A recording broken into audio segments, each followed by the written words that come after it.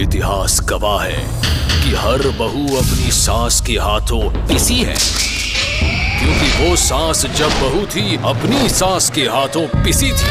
पिसने पिसाने के इस चक्कर में हम सब पिस चुके हैं। सुलगते हैं अरमान हर बहू के दिल में कि वो बनेगी सास और निकालेगी अपने दिल की भड़ास। मैं कब सास बनूँगी?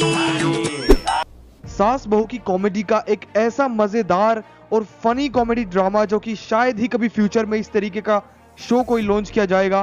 वेल well, हम लोग बात कर रहे हैं सीरियल मेकअप सास बनूँगी की जिसे कि सब टीवी के द्वारा 1 सितंबर 2008 में दीप्ति भाटनगर प्रोडक्शंस के द्वारा लॉन्च किया गया था जहाँ पर आपको मेन कास्ट में वंदना पाठक शीला का किरदार निभाती हुई भारती अकरेकर सरस्वती का और अंबिका गंडोत्रा सोनिया का किरदार प्ले करती हुई नज़र आई थी।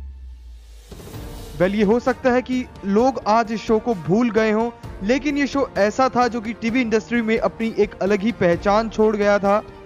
इस शो ने अपने समय पर ऑडियंस को हंसा हंसा के लोट पोट कर डाला था। हो सकता है आज की जनरेशन इस शो के बारे में अवेयर ना हो, उन्हें ना पता हो या फिर कुछ लोग इस शो के बारे में भूल गए होंगे। वेल आपको याद दिलाना चाहूँगा बेसिकली ये एक कॉमेडी ड्रामा था जहाँ पर एक सास अपनी बहू पर अत्याचार करती है और पीड़ित बहू जब ये सोचती है कि जब वो सास बन जाएगी तो वो भी अपनी बहू के साथ ठीक वैसा ही सुलूक करेगी। उसकी सास ने जैसा उसके साथ किया था। अनफॉर्चुनेटली इस शो का एक भी एपिसोड YouTube पर सोनी लिव पर या फिर किसी भी वेबसाइट पर कहीं पर भी अवेलेबल नहीं है।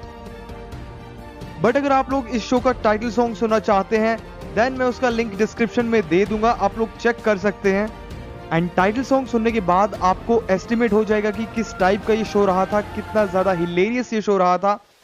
बहरहाल अगर हम बात करें इस शो के ऑफ़र होने की कि वो क्या रीजंस रहे थे जिसकी वजह से सब टीवी ने इस शो को बंद कर दिया था।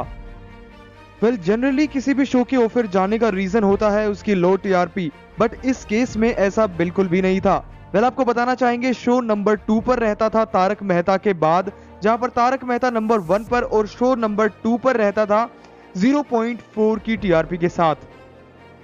वेल well, अब आप में से कुछ लोग सोच रहे होंगे कि भाई 0.4 की टीआरपी पर तो नॉर्मली आजकल शोज़ बंद हो जाते हैं ऑफ़र चले जाते हैं बट आपको बताना चाहूँगा उस टाइम पर 2008-9 के समय पर 0.4 की टीआरपी ला पाना बहुत ही ज़्यादा बड़ी बात होती थी किसी भी शो के लिए।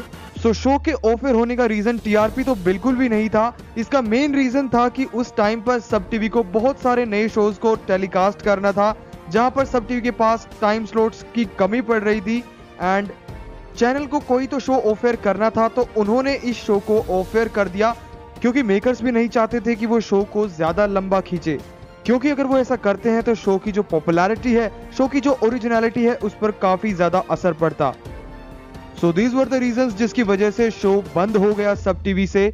आप लोगों ने इस शो को देखा है या नहीं let me know in the comment section below also अगर आप लोग पाना चाहते हैं टीवी से जुड़ी ऐसे ही अपडेट्स तो हमारे चैनल को सब्सक्राइब करें।